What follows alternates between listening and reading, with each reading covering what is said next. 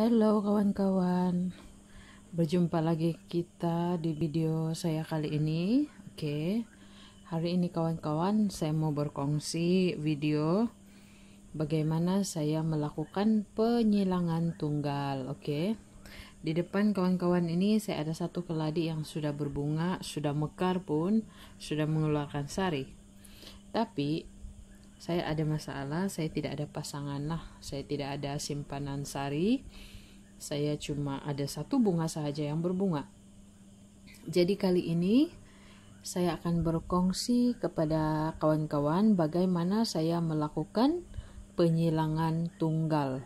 Oke, jadi uh, bunga ini sudah uh, mekar pada waktu uh, teng petang tadi dan pada jam 8 Dad sudah mengeluarkan sari ataupun serbuk bunga lah. Jadi kita um, akan melakukan proses penyelangan teruslah jangan lagi kita tunggu lama-lama nanti tempo matang bahagian betina itu akan apalah akan berlalu. Oke? Okay? jadi pastikan anda siapkan pisau atau gunting atau apa-apa benda tajam kita akan mulai melakukan proses penyilangan. Kita akan potong berhati-hati.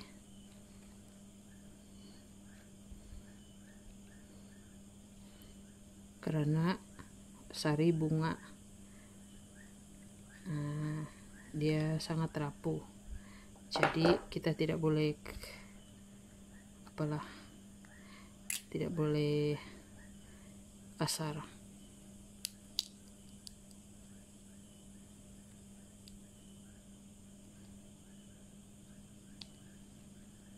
Oke.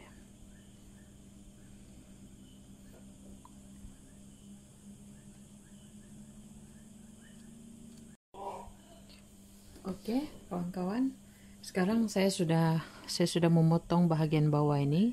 Sekarang uh, perkara yang kita akan lakukan adalah kita akan mengambil serbuk sari ini di atas.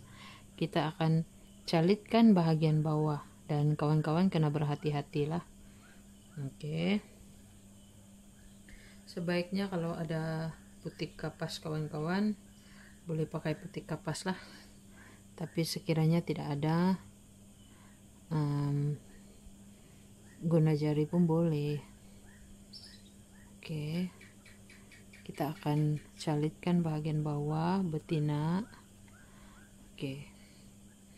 Selalunya kalau penyilangan tunggal ini kita kena buat dengan segera.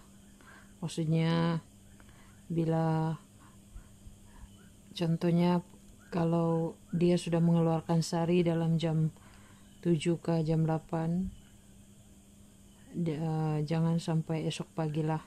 Kalau esok pagi kita tunggu dia sampai esok pagi maka bagian betina dia itu sudah akan mencapai tahap matang dia dan expired date dia sudah tidak boleh sudah di apa?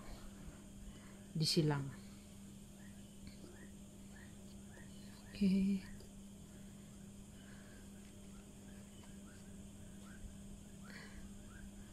Berhati-hati. Dia tidak berapa banyak.